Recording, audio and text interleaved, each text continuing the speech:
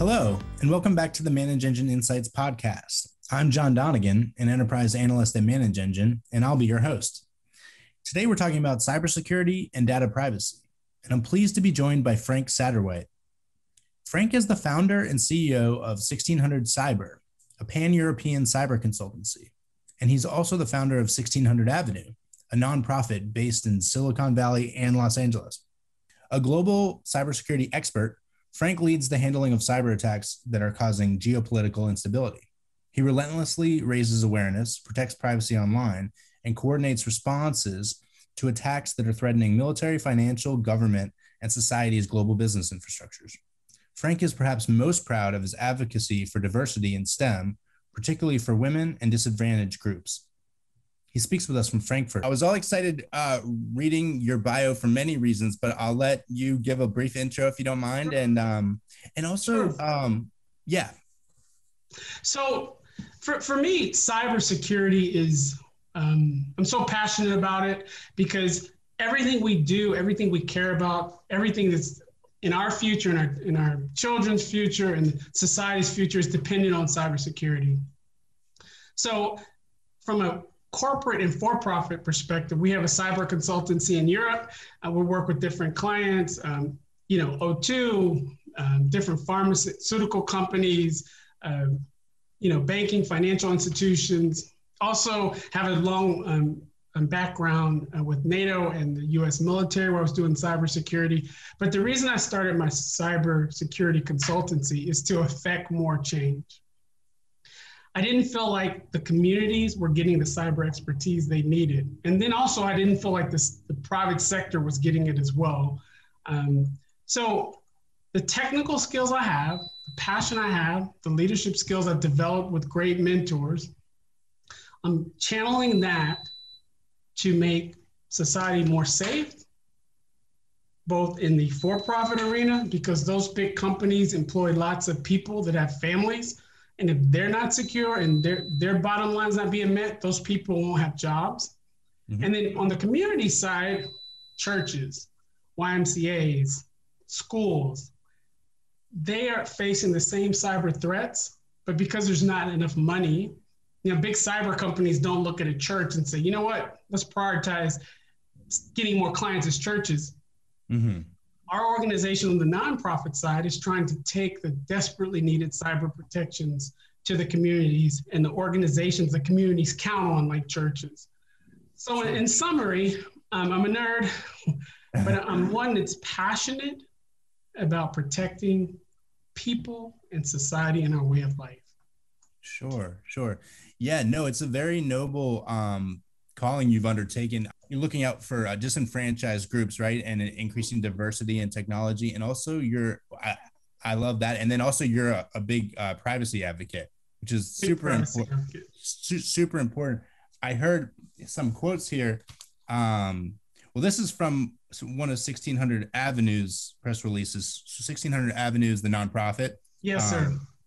And um, so you said the weaponization of mobile phones has reached uh, uh, dystopian levels and that's really um, actually not that contentious. That's pretty accurate. And then every day our privacy is being violated. I heard you tell, um, I think Melise, Melise on the uh, Bulletproof podcast. Yes, Marlise, uh, yes, our oh. friend. oh, ah, nice, nice. Well, I really enjoyed that talk you had with her, and I really enjoyed the um, research I did on your organizations last night. Um, so again, I'm personally really excited to have you on here. Um, and uh, maybe you could just tell us a little bit about your concerns related to user data privacy in general. And then if you want, you can even get into these other things. I know you did like a My Vote app and a Priv. Sure. App. So what with, with privacy right now, this. Mm-hmm. If right now you went to society and its citizens and you said, you know what, the government is going to give you a tracking device and it's going to monitor your activities 24 hours a day, seven days a week. Mm-hmm. It's going to share your most intimate details to people you don't know. And then this information, the government's going to be going to use to control you. Um, people would be rioting in the streets.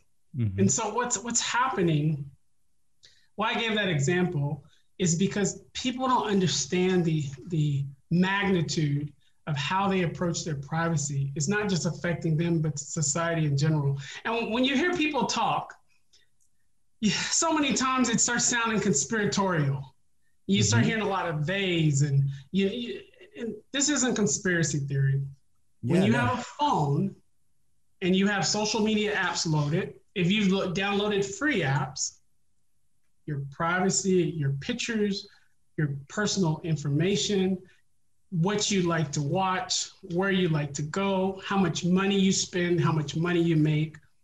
You have basically opened the door to the Facebooks and the Googles to extract this information, process it, and then once they have information and they know you inside and out because they've taken all this data from your phone, right? They can kind of they can manipulate your behavior.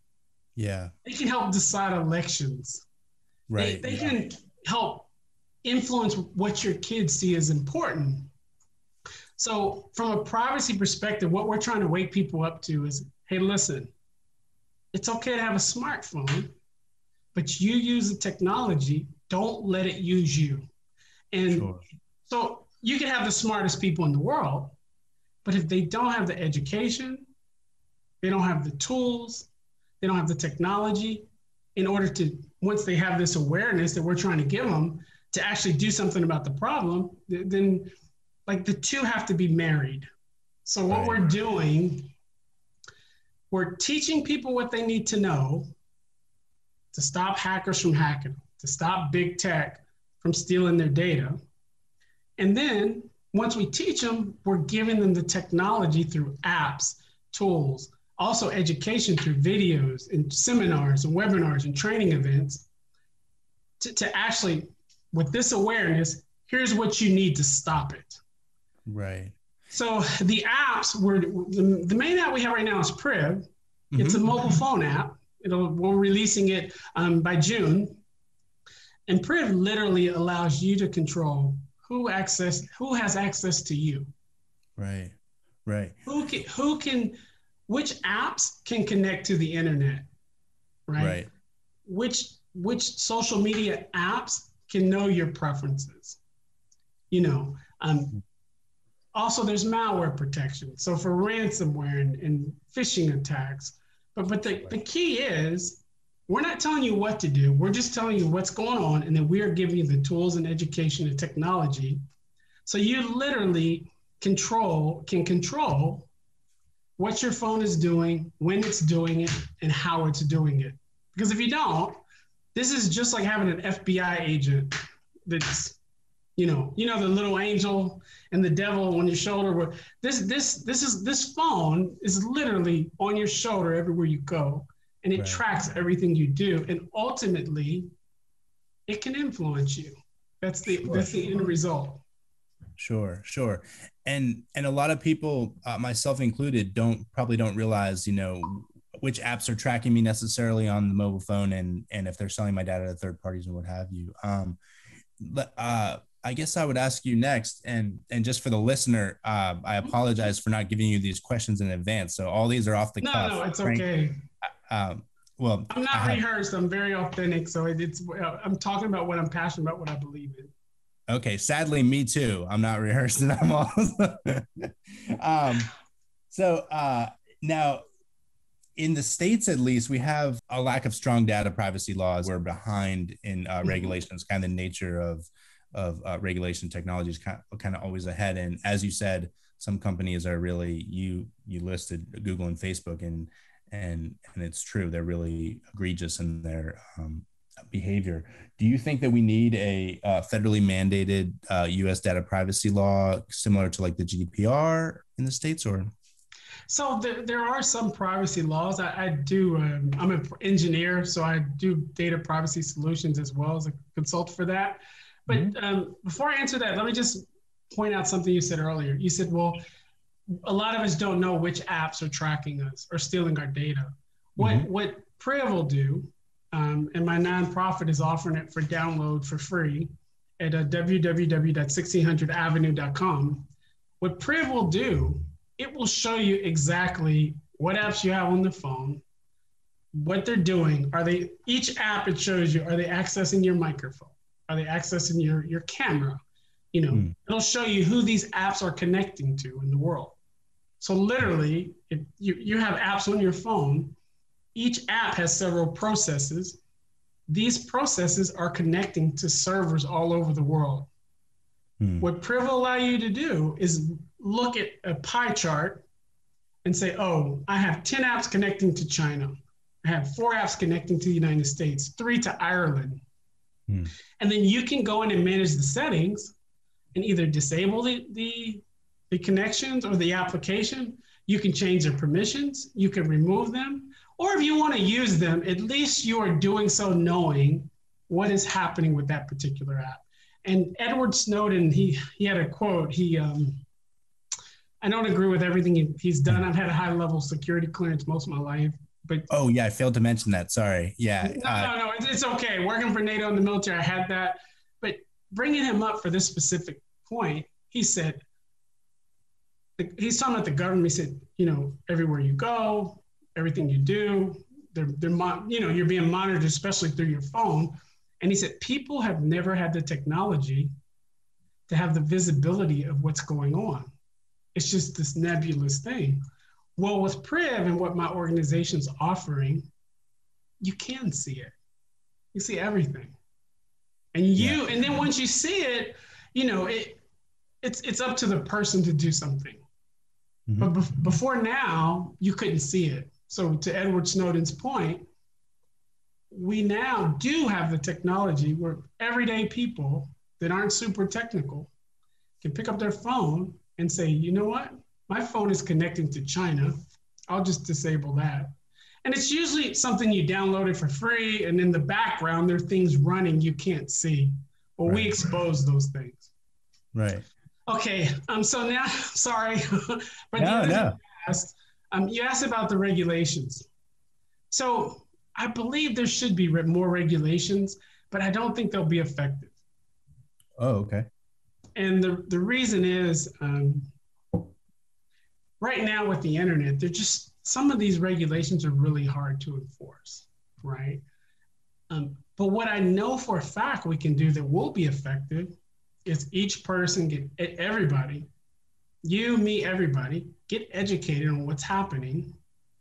Take control of your life by getting the education. It's not just from organiz- not just from our organization. There are other good organizations that are doing good work.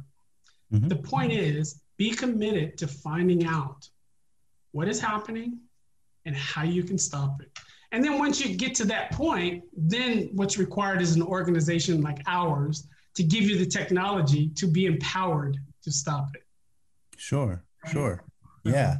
Yeah. And you have a third division, 1600 music, and you had a mm-hmm. background. Mm-hmm. You were a DJ, as I understand, a radio DJ back in the still day. Am. oh, oh, still I've recently started DJing again on the radio. Yes. Okay. Okay. I'm, I'm a music nerd. no, no, no. It's cool. And, um, and you're partnered with, um, uh, the commissioner KRS One gave him that name according to Wikipedia, which is very impressive. Yes. They're um, from the same neighborhood, and and uh, Gordon says the name just kind of stuck because he's he's Gordon Williams and and the commissioner. Um, so for music, Gordon cares deeply about the community, right? Mm-hmm. And some of the problems that are happening, um, especially with privacy and misuse of tech. Mm-hmm. So the way if, if I held a speech, I, I gave out flyers and did radio promotions. I gave a speech that I'm going to talk about all these things. Some people might show up.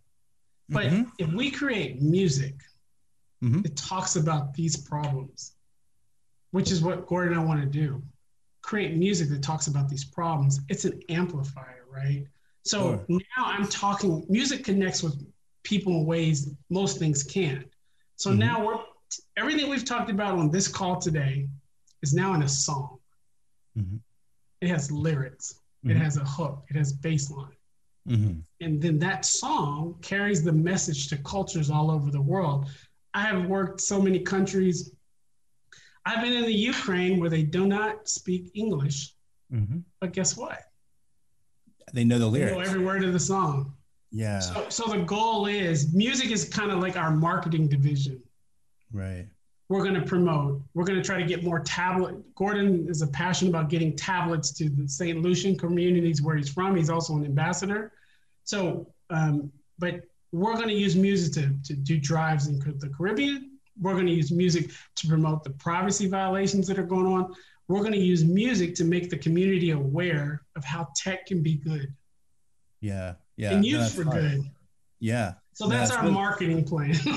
no, no, no. It's really smart. Um, and one other thing, really, uh, really quick. Um, uh, music. Uh, when I was at UC Berkeley, I had a mm-hmm. record label. Oh yes. Had some had some West Coast rap art, gangster rap artists. Did pretty well, um, but even at that time, um, instead of continue with music, my passion became more to help the community. I think God just put that on my spirit. But what's so perfect about what's going on right now is we've uh, integrated music with technology. Mm-hmm. So the same passion I, I, had for music, running a record label or DJing, it, it's I'm doing it in tech, and that passion for for tech and music combined is the perfect way to not only get the attention of our communities. And when I say our communities, I mean it's not about color. It's it's just yeah. Poor communities and communities that are disenfranchised have the same problems. So so use this formula to get solutions that change and make people's lives better, which is what tech is supposed to do. That combination is very powerful to accomplish that goal. Right, right. Yeah, no, um, that's amazing. Um, you're probably too young. Tupac Shakur was in the Bay Area for a time, but of I think course, of course, I love Tupac. I love Tupac. but but you you know Tupac. I think Tupac was really misunderstood. I'm, I'm not a mm-hmm. I'm not the person the source to go to for rap history or hip hop history. That's mm-hmm. not what my comments coming from. Mm-hmm. I do recognize passion. Yeah. And yeah. if you look at what he's trying to do, most of the time in the music, he sees something, and instead of just walking up to you and say, "Hey, you know, you know, this is we're having a problem over here with the, the, the girls not being treated properly by by the men in the community," mm-hmm. that's that's not how it's coming out. It's coming out with right. fire, and and that's why I got everybody's attention. Right. That's what I want to do right now with right. I want to come bring that sort of passion, wrap tech around and say, hey, listen, I've got the I've got the solution to your problem. Mm-hmm, mm-hmm. And I think if I understand you correctly, you're a big STEM advocate. So you you, um, you also see it as a way to get a lot of these folks who normally wouldn't be interested in tech at all to you know go into higher education and get jobs and i think you provide a lot of jobs through your consultancy as well um, I could talk about the music stuff forever, but uh, Priyanka will kill me. we, we, can, we, can, talk about whatever you like, but I, I, will tell you, as far as the tech and the STEM, being a STEM advocate, I'm really mm-hmm. proud of that work. Um, I am 100 million percent committed to it. Uh, we recently did an International Women's Day where we had all these thought leaders from Europe and, and C-level and, and senior leaders from Europe and the States, Silicon Valley, come together and just really create a, create some this powerful event that hopefully impacted a lot of people because it, it gave stories of tragedy, triumph, um, challenges, how to overcome challenges. It gave people tools to use to, to better themselves in terms of uh, women or disenfranchised groups wanting to pursue careers in STEM and be successful. So right. that event was in March for International Women's Day, but day to day, one of the priorities for what I'm involved with, or anyone that works for me is involved with, is there is a concerted effort to prioritize creating opportunities for women in tech. Not oh, not, not as a favor to women, but right. one, women are just as capable, and sure. two, anytime you have any industry and there's not equality, mm-hmm. and right yeah. now no one can say there's equality in tech for women no. Then you can either stand on the sidelines and watch, or I believe that if you are in a position to do something about it, that God expects you to do something about it. So we we um, are more focused on providing opportunities with younger like getting teens inspired teen girls we do conferences at uc berkeley we've done them at ucla three or four day mm-hmm. conferences um, an organization called awit they they kind of are nurturing the young career path um, the women that are just early in their career path to give them an encouragement to continue but for us, our they're a community partner, but for us, our focus is that girl who's 14. Hey, you can do this, and yeah. we're we're here for you to kind of let you know when it gets hard, or you don't feel like you're good enough, or you're smart enough, or imposter syndrome. You have someone you have someone you can count on. Last thing is um, with respect to what we want to accomplish in STEM people, when you have something in life and it's hard, mm-hmm. some people don't want to approach it. But the majority of people, if you say, listen, if you do this, you'll get this. Mm-hmm. The ma- majority of people, and they think getting this is realistic and not just talk. Mm-hmm. The majority of people are willing to make the commitment. So our our focus is listen, if we're talking to young black males or um, uh, Latin or Mexican males or poor white males or young teen girls, whatever it is that are suffering from socioeconomic um, conditions and circumstances. If I go to you and I say, listen, I've done this already, what I'm going to tell you, go to school for four years, let us mentor you, let's get you into to mentorships and internships. Hmm. Let us help you enter into the career workforce at the end of that, you're going to get a job. You're going to probably start at about sixty or seventy thousand dollars. In a few years, you're going to make more than a hundred thousand dollars, and for the rest of your life, you will make more than a hundred thousand dollars. I'm asking you to give me the next six years of your life to have to make more than a hundred thousand dollars for most of your life, because that's what engineers make, or more even. Sure, sure. Get if if we get that message across, it's it's it it's not an easy sell. No. But it's at the same time, it's something that a lot of teens will make the investment into becoming engineers and right. being willing to look the other way when it comes to opportunities for easy money or shortcuts. Right. Right. And so are you seeing you must be seeing more and more people um, you know crossing that line and coming into STEM? Uh, more women, more young women uh, doing so. Yes and no. Um, so we've seen prog we we've seen a lot of progress for sure, but what happens is, to me, there needs to be more. Mm. You'll see companies in their posts, yeah, these statistics, or we, we we you know we stated this program and we've got this percentage of women hired, this percentage of black males higher, this person, and, and that's all great. That's a good start, right? Mm-hmm. But um, what I see and what I know is there's an opportunity to do a lot more. I don't want one in 10 girls. It's less than that actually, but I don't mm-hmm. want one in 10 girls to pursue engineering. I want five in 10.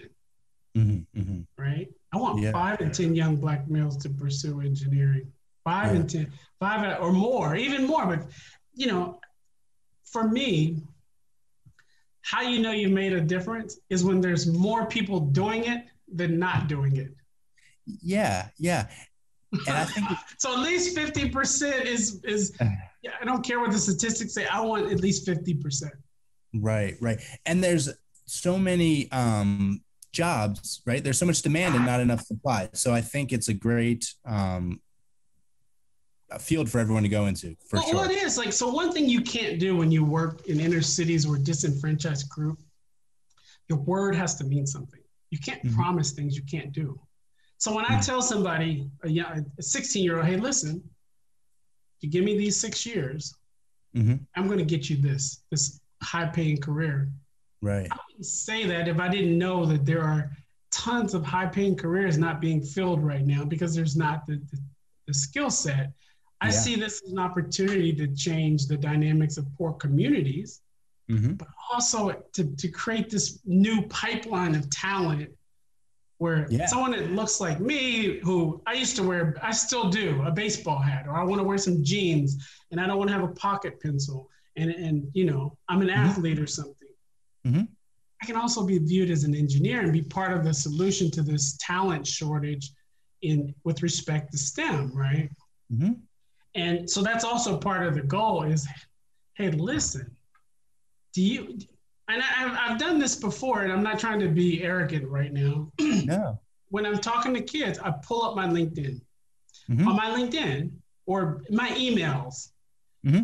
Hi, Mr. Satterwhite. We have this project. Would you like to work? It pays XYZ, which is a lot. You see their eyes light up. And I show them 15, 20 emails. Right. For today. Yeah. Or, or over the course of the last couple of days. And mm-hmm. I say, you all, I want you to have 50 emails in your inbox. And you can do it. I didn't have anybody really to mention me properly. Mm-hmm, mm-hmm. If you listen, you will never look for another job the rest of your life because you'll be in such demand. Mm-hmm. Yeah. Companies will know you have so much to offer not not just your technical skills, but you can go enter this workforce and be who you are as well. Yeah, true. So, no, no, I think it's great. Um, and um, I'm I'm pulling for um, not like you need my cheerleading. You're already killing it. No, but... it helps. Listen, anybody who I'm, you know, I said this recently. Um, it's so important people encourage people.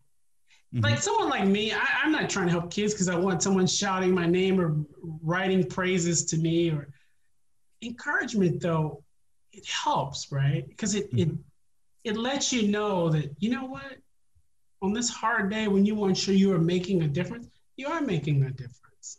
Mm-hmm. You, you are making things better. So I, I tell everybody, just if you know someone who's doing something positive, reach out to them and just say, hey, whether it's a teacher, garbage person, uh, principal, not just doctors, lawyers, or engineers, but anybody. If you know mm-hmm. someone doing something positive, say, hey, that's really great. You helped that elderly elderly woman today, you know, mm-hmm. at your at this home you work at. Right. Because it, it goes, it, I'm gonna tell you, someone like me, mm-hmm. when I see that, there's nothing that inspires me to do more than that. Now I'm gonna mm-hmm. double my efforts because maybe I am helping and, and I need to do more. Well, well, as far as I can tell, you're already doing a lot. You're you're in Germany now, but you also have home base on the West Coast still. Is that right? Yeah. yeah. I'm always going to be a California kid. um, cool. I, our nonprofit's based in the West, yep. in Silicon Valley in LA. We have some exciting partnerships with SAP and some other organizations that are being launched. Um, Martha mm-hmm. Diaz is another one on the East Coast, which starting a partnership with. So we, mm-hmm. we're getting roots there, but primarily the nonprofits based in, in um, Silicon Valley in LA. And then mm-hmm. the for profit consultancy is headquartered in Germany, but we mm-hmm. also have an office in London. Oh, cool. Um, so to switch gears a little bit and talk about that, I'll be remiss if I, if, um, right now I've just been talking about everything I was super interested in, and I, I fell in love with your background and, and, um, the the filling in for Priyanka went from being a chore to being a delight. I will say. I appreciate that, yeah. uh, and, I, and, I, hope she gets better. Um, he didn't announce this, but the, the person that was going to interview me today, she's fallen ill, and and uh, we're praying for her. So, but it, yeah, we're praying for her. But I'm I'm really honored that you feel that way. Uh, well, thanks. We appreciate that too. Um, and um, so just just to ask about cybersecurity in the geopolitical realm, as you said before, you throughout your career, the last, you know, 15, 20 years, you've had top DOD clearances and top clearances with NATO. I'm wondering um, what your top concerns are at the moment and um, what type of cyber attacks are on the rise. Sure. Um, yeah, yeah. Yeah. I, this is, I'm a nerd, so I love this part. Um, you know, simply put, we do not have the level of protection in place that we need um, to protect societies. I, I, can't talk in detail about the NATO military stuff, but mm-hmm. I can just say in general, um, two things that are really concerning. Mm-hmm. Even though the attacks have become more sophisticated, mm-hmm. and they have, If you, every time you hear someone hacked, a com- big company hacked, you hear the CEO get on TV and say, "Hey, we're so sorry. Uh, we're, we're, we're implementing new, these new technologies. We're going to make it stronger. We're going to be more protected than ever." But they, they never say one thing. About 90% of the attacks mm-hmm. still require a person to do something wrong or make a mistake. Internally, you're saying? So the the most sophisticated attack, whether it's a SolarWind attack, not all of them. We all know about the recent SolarWind attack. Well, somebody stored credentials that allowed those attackers to gain initial access on a on a, a uh, website, right? Um, these big yeah. phishing campaigns or ransomware attacks we hear about, someone is making a mistake to allowing the attacker to initially compromise the organization and then start moving laterally, right? So mm-hmm. the first part is it's very concerning. People, everyday people, are more the solution to the problem than more tech, more guys like me, but no one's focusing on that. If you mm-hmm. get those 90%, mm-hmm. if 90% of attacks, no matter how sophisticated, are initiated because someone made a mistake, if you get those people to create strong passwords, mm-hmm. practice best cybersecurity practices. If you're if you're an admin, and just because you're an IT person doesn't mean you're practicing cybersecurity persons. In fact, IT people are some of the worst cybersecurity people because oh, they're used to doing a job and they're used to doing it in a very con- convenient way but is mm-hmm. not secure, i.e., sharing passwords or mm-hmm. using RDP without a VPN or not securely. Mm-hmm. So, the first part of the question people need to be getting smarter. Corporations need to invest in the workforce so they aren't making mistakes. And now, what you've uh, uh, really done, you've taken, if you have 100% attack vector, you mm-hmm. reduced it to 10% for the attack to start. I see. Now, what has now what is what is definitely I, I want to be clear about, but once there's been a compromise, that part is getting way more sophisticated. So, hmm. You know, there's there's defensive measures this malware takes where so it's not picked up by antivirus. The the hackers know what guys like me are going to do when we're investigating something. So so they create uh, um, TTPs that evade how I might monitor something or investigate the scene, the logs, or so. So once the attack stop, starts, that part keeps getting more and more sophisticated. So I, I agree with that. Um, yeah. And then the second part, um, I think AI. Oh. I think AI. You saw the movie The Terminator when. Yeah, of course. No, no, really, being serious. Like, this isn't conspiratorial and and you know how uh, Skynet mm-hmm. starts makes choices. Well, mm-hmm. right now, and it goes a little bit back to the privacy. Well, right now, artificial intelligence is outpacing the security. Mm. So, picture you wanted to go on vacation, mm-hmm. and you and maybe two years ago you were thinking about going to Florida or California. Mm-hmm. And then sometimes you log into your email or something and you are seeing these ads for Florida or California, mm-hmm. right? Um, that's not by accident. Or mm-hmm. sometimes people have looked up something and then five seconds later there's an ad on Facebook for this thing.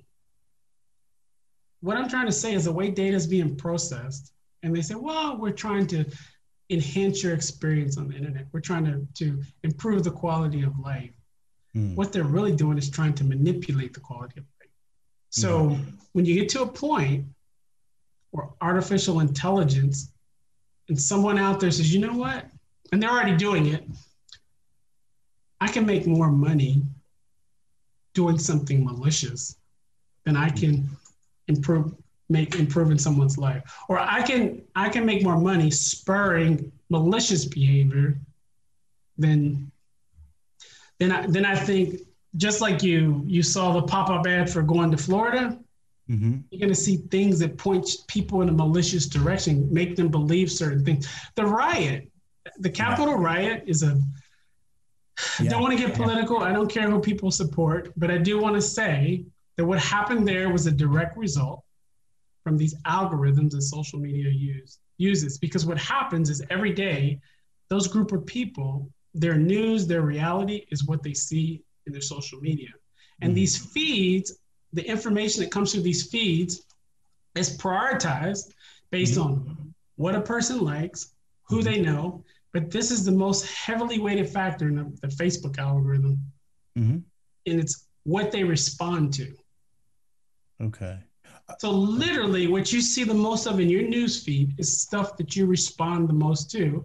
And mm. if you take certain groups of people, when the ex-president would say something, they're responding to certain things when their news feed.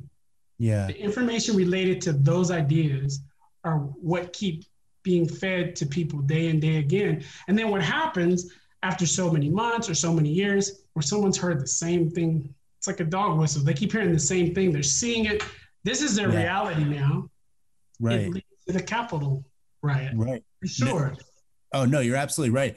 And also we're seeing, or at least it seems like we're seeing increasingly more and more that there's state-sponsored disinformation campaigns. They're very savvy now. Since 2016, it's been on my radar because you know the election, and I guess I'm wondering if the the bad actors are using AI and they're committing so many resources to aggregating yeah. people's data. Is there a way that the good actors too can use AI to kind of combat this?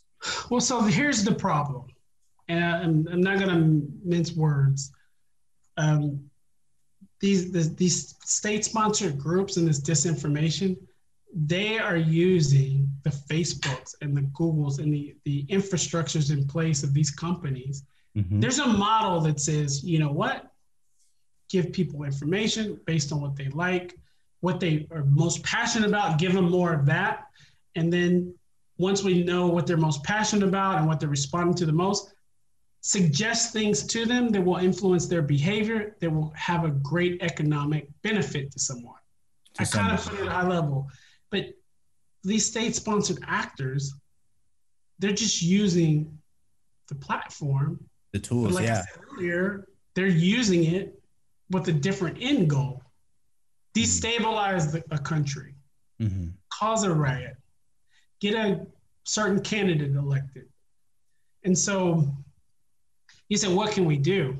Mm-hmm. Well, this is the, the Facebooks and Googles, they know this is happening. Mm-hmm. They know it's happening.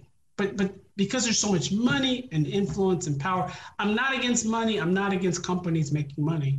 What mm-hmm. I'm against, if you know certain state sponsored actors are using the technology that you have put in place to, to, to for malicious ends and gains, then you have a responsibility to stop it. And right. they, they could. There's ways they could monitor which type of users they provision accounts for and which mm-hmm. type of information. But what you'll hear is, well, you know, we just people have a right to say what they want. Well, they, well, they really don't if they're terrorists. Yeah. And, and not to get too political, back to the technical part of it, mm-hmm. right? Mm-hmm. The platform, like the computers don't, they don't know what's good or bad. Right. The algorithm does not know what's good or bad. It just knows what you care about. Right. Right. Right. So the way this, if, if big tech's not going to make some changes, where they put controls in place to either monitor who's using these platforms and benefiting from the algorithms, then the onus has to be on us mm-hmm. in society. Yeah. And this is so that's what our organization is doing. Our organization is saying, hey, forget the petition to Google or Facebook, mm-hmm. be more responsible. Mm-hmm. You should keep keep election fraud and disinformation. Like there was a campaign, I won't go into it, but the worst thing you could say about a person was said mm-hmm. about Biden, and it was being disinformation yep. really heavily. Mm-hmm. They know that they could stop that. Mm-hmm. Right. But so you say, well, what do we do? Mm-hmm. It the onus is, falls on us. So in our mm-hmm. organization, from an awareness standpoint, we're letting people know, hey, listen, social media is being used for disinformation. It's being um, uh, used to raise your kids, control what they think, manipulate how they feel about things and themselves. Same thing with you. You're aware of it now. Now let's give you the education so your news feed you're getting every day stops being a propaganda tool. Mm-hmm. I'm not saying don't get news in your news feed that you care about, or you're right. You have a right to have your own beliefs. I, am not saying that, whether it's Republican, Democrat, socialist, liberal, whatever. Mm-hmm. But we have to all start agreeing on one set of facts. Mm-hmm. Yeah.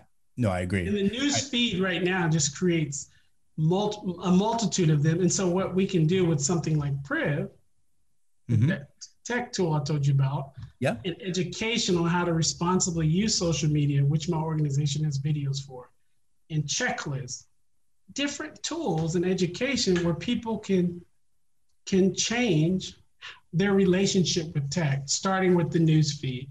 And so, so the solution to me is don't waste your time asking Google to have a conscience or, or Facebook. We can make the change ourselves. We can control what our the direction and the relationship our family has with technology mm-hmm. and the information that comes. So when that state-sponsored actor is pushing something through Facebook, I have told my kid, listen, you know, let's set your controls in social media and on this app I've given, Priv app. And mm-hmm. I've told my kid, I've explained it to him no son we're blocking this because this is what it is. Right. You tell your daughter i told my you know so that, that the solutions with us and now we have the technology where people can kind of be more the solution. Yeah no i think that's great. I think that makes sense too. Um, and it's really unfortunate that we haven't seen more productive um, legislature to rein in some of these actors as well because it's on it's a bipartisan issue too. I mean, both sides of the aisle are complaining for different reasons, mind for you. different reasons. yeah, but, yeah. But, but with all the, the legislation and people going before Congress, what is the end result every time? Yeah, uh, standstill usually. Yeah, nothing happens. And so, what I'm trying to say is, I believe the community can be its own Congress. I like that. That's a good soundbite. Yeah yeah, yeah.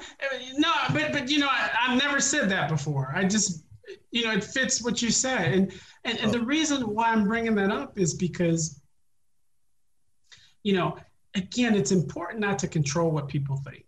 I'm yeah. not saying that just because someone believes in Trump or believes in Biden, they're a bad person. Right? What I'm saying is right now, how the person generates their beliefs needs to be based on a reality and a certain set of agreed upon facts. And right now, you don't have that. So, yeah. and the community, but the communities can can control this, right? There mm-hmm. are ways to. I don't want to. I'll give you one example. Sure. So one of the training classes is to to effectively manage how you use social media. So guess what? Facebook. If you want to use Facebook, fine.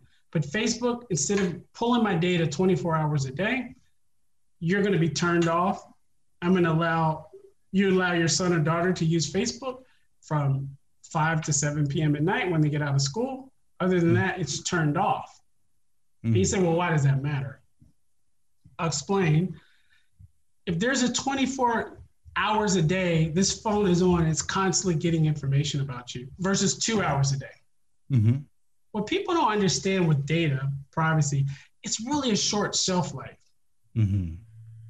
I'll give you an example. Four years ago, just think about something you were doing. Yeah. Today, you may not be doing the same thing, or you may be doing it differently or less. Yo, and, for sure. Yeah, and, and my point is if you limit the amount of data Facebook's getting, the algorithm needs data to, to, to push out these targeted messages. So think about going from 24 hours a day to two hours a day. Right. That's right. like 90% reduction in the amount of data that they're getting about your life. Yeah. And over an extended period of time. So so before where they know exactly what a person thinks, what they do, what they click on, where they go, there are a lot of gaps now.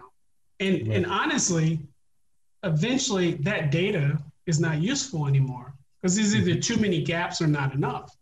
Mm. Yeah, you, see you, see, you, see, you see- what I mean? So Oh, if sure. everybody started putting Facebook on timeout for for 20 plus hours a day, only Mhm. using it certain hours, hmm well, you know, Right. before you know it, that data is not useful or it expires. And Right. Right. Well, oh no, you just got me thinking. Um, and I know Facebook's one of the most egregious culprits in this space, but they also own uh, WhatsApp and Instagram, so they have, which yeah, I mean, um, it's the same thing. right, right. And I think you're right. I think educating the users and having them change their behavior is a good, Mhm. better step potentially. I th- think if I'm understanding you right, then we're kind of relying on uh, governments to initiate laws to kind of combat big tech um, for various reasons. Let, right? let- let me let me give you another example. You just made me think about. Mhm. Also, what if you turned off location data from Facebook? So Mhm. now it never knows where you're going. Right. Yeah, that would be good. I mean, the geolocation data, but but you, you I guess I'm, I'm just trying to point out is you can decide what data these apps have access to through Mhm. our tool and through training and education.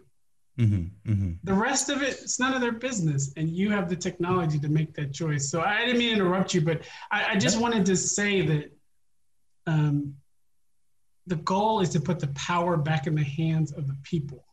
Mhm. You know, there, there Yeah. was a saying, this revolution will not be televised. To put the power back in the hands of the people, tech is for the people. So whatever happens with Facebook, it, you know, I'm less concerned about that, and I'm more Right. concerned about getting as many using music and other ways to get as many people as possible to take control of their lives and their personal information, Yeah. and then yeah. that the rest will take care of itself. Right.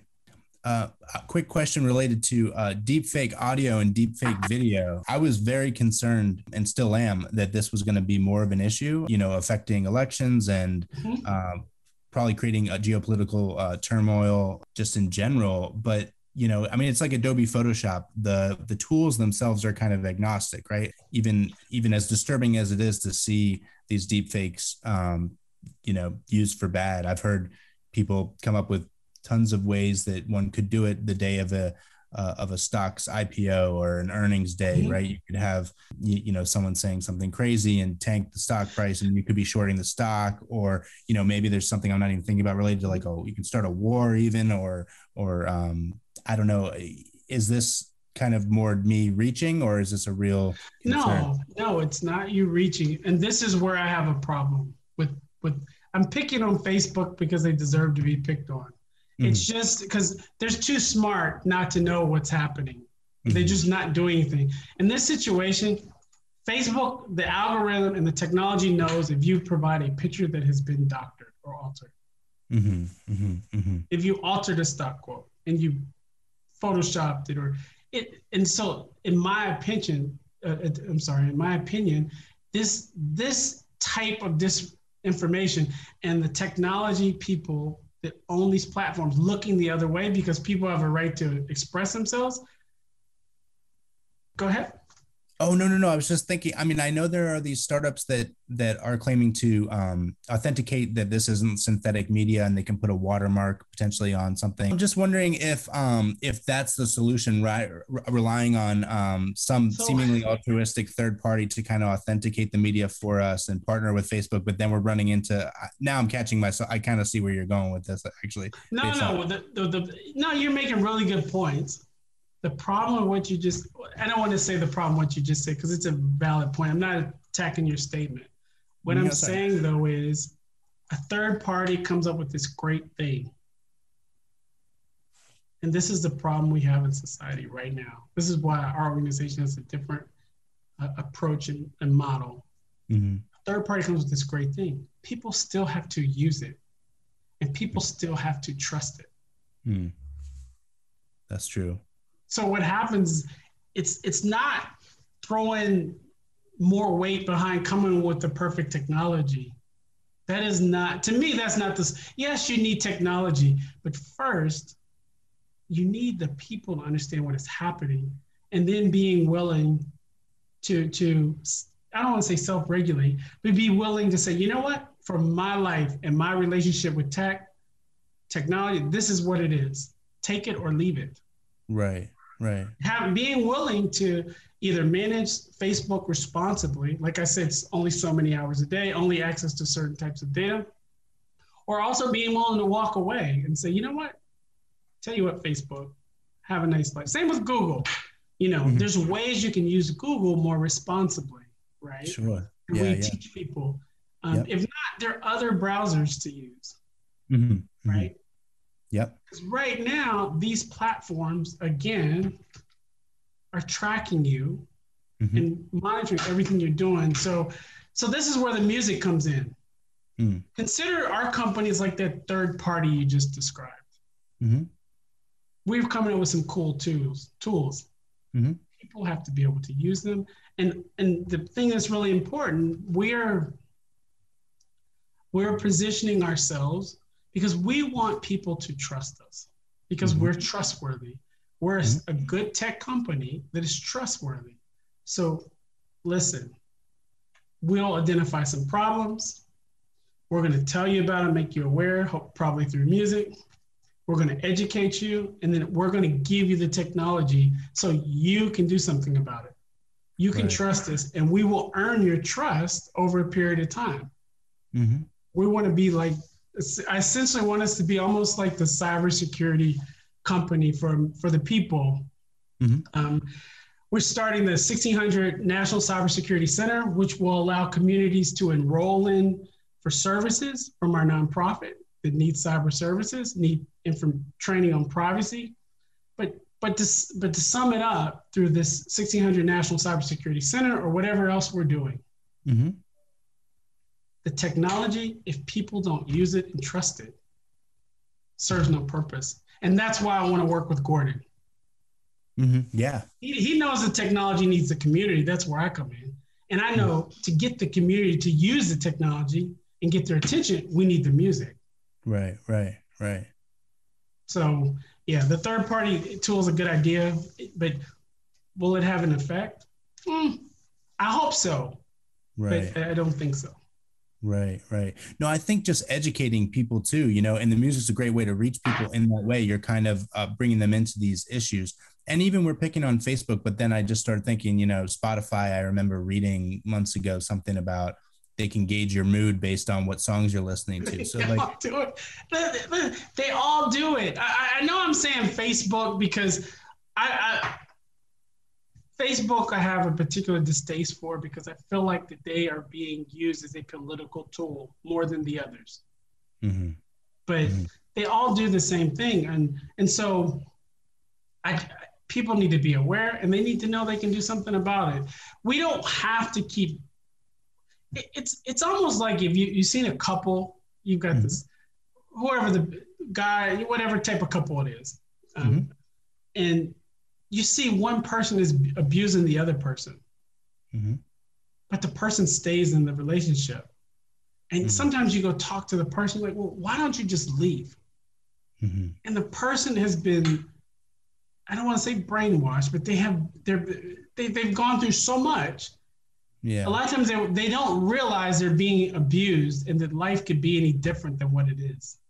Right. Yeah. Stockholm so, syndrome or, Yeah, or, yeah. Or, I'm, I'm not I'm not a psychologist, but the point is the relationship people have with tech right now is unhealthy. Mm. Mm. Tech yeah, is getting most of the benefits, or not all of them. The right. user, the communities are not getting anything back. And the, the end result of this uh, these algorithms and this misuse is either people are getting hacked or we're getting more racism or more political unrest or hatred. All this stuff is the product of this of the way tech's being used.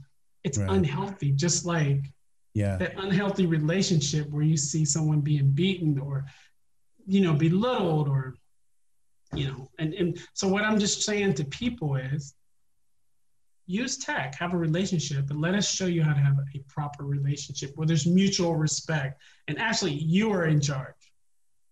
Right, right. Yeah, no, I think that's great. Um, uh, well, we're going on an hour here, and I don't want to take up too too much more of your time. Um, and Priyanka had a list of questions that I kind of threw out the window after I did research on you. I'm like, we got this guy in here. We can't, you know, we gotta. Um, I had things I wanted to ask you about, and and it's been really um, awesome. To not to be angry with you, but honestly, um, I feel like you did a great job. And the oh, questions, oh, thank you. questions, I hope I hope are impactful to people and gives them something to think about, right? Yeah. And I'll leave you with the last word too. And maybe I'll throw a little curveball at you. I'll give you one more if you don't mind. And then sure. um I, I was talking to um Andy Bates a couple weeks ago, who I think you know from the Global Cyber Alliance. Andy Bates. Yes, no? yeah, we did a we did a, uh, a panel together. Yeah, he's great. Oh, oh, great. cool. Yeah, yeah, yes. yeah. Uh, uh, really great guy. He um he, he surprised me on the call. He was talking about there being kind of a silver lining to the pandemic.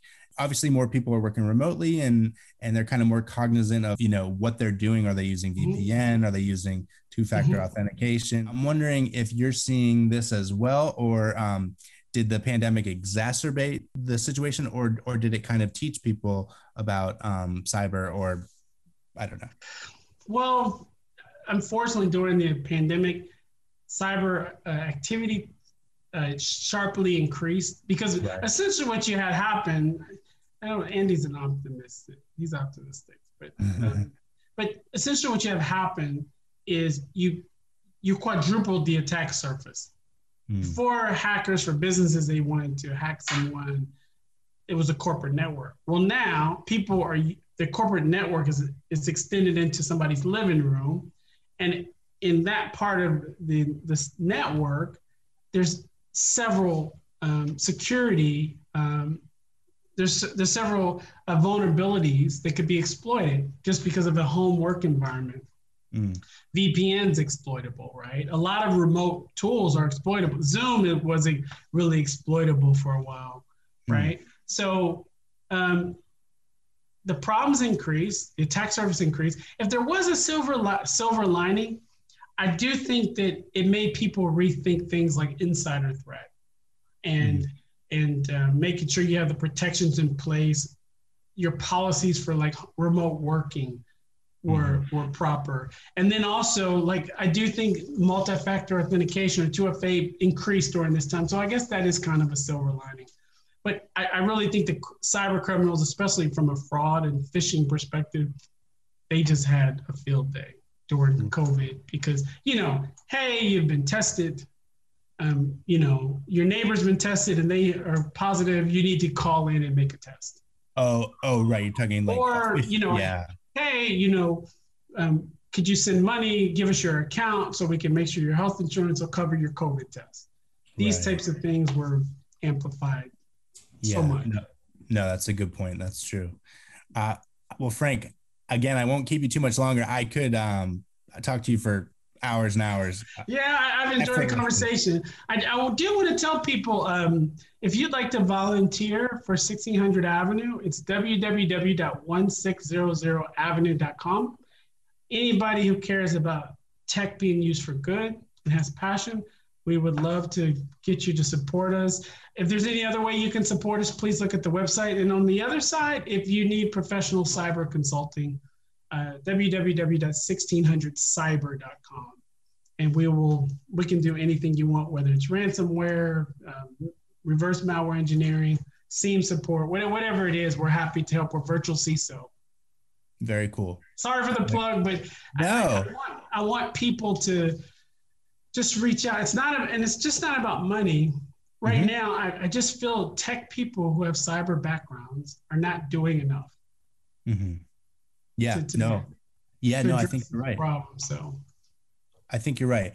Uh, well, Frank, I've only uh, known you for well, I've only known you for an hour, but I've only even known of you for 24 hours, and I've been very, very, very impressed. So, um, thank you so much. Doing, I think you're doing great things, and uh, uh, we were really lucky to have you here on the ManageEngine Insights podcast. That brings us to the end of today's podcast. Thank you very much to Frank, and a big thank you to everyone for listening. If you have any feedback or any comments, please leave them in the comments section, and we'll get back to you. And please stay tuned for our next installment.